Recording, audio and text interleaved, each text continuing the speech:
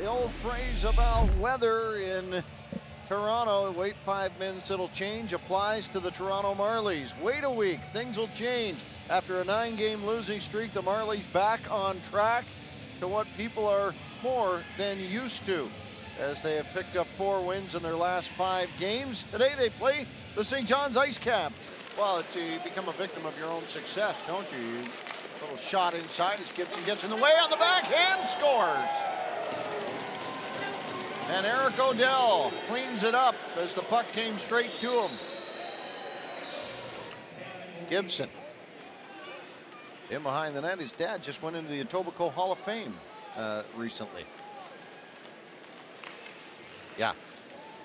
Brown looks in. Shoot! Scores! Connor Brown with the drill down as that one went up top over the shoulder. You talk about guys who can put the puck in the net. Connor Brown shows you he can. Klingberg waits for it, gets it back from O'Dell, and it is fired all the way around as McKinnon keeps it down deep. O'Dell out front scores. Wow, that one got into a small space in a hurry as Klingberg knocked it home. 7.27 left to go. They're outshot last night badly, but uh, the Marlies came away with a victory in overtime after being down 3-2 out front Brown and out the back of the goaltender scores. Wow. Now this, what a choice. This is a huge heads up play. This is a goal scorer's goal. And Connor Brown, you know, he gets on his horse. First, it's the home run pass attempt uh, by the defenseman Mickelson. He tries to hit Connor Brown. He misses the puck, but it goes off the end boards, and Brown picks it up and almost makes the play past the goaltender on the first opportunity. Abbott looks at it again.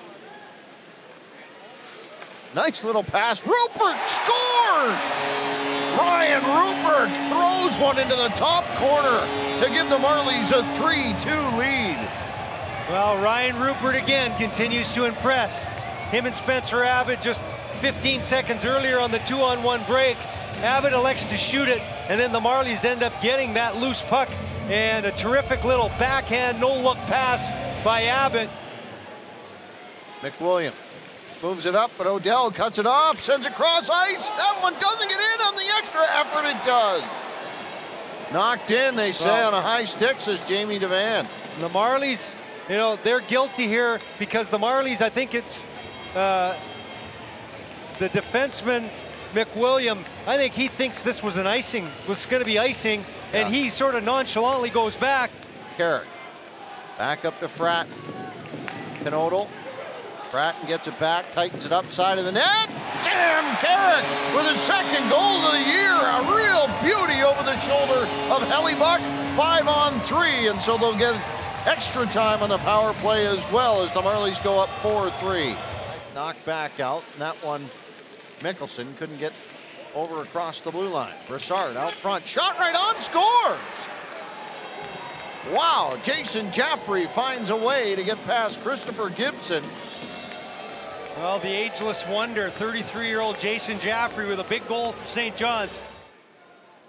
Dump back down the ice, bit of a wobbler. Frattin gets in and gets to it first as Matt Frattin with some speed, hanging on to it at the blue line. Frattin looks in, shoots, scores!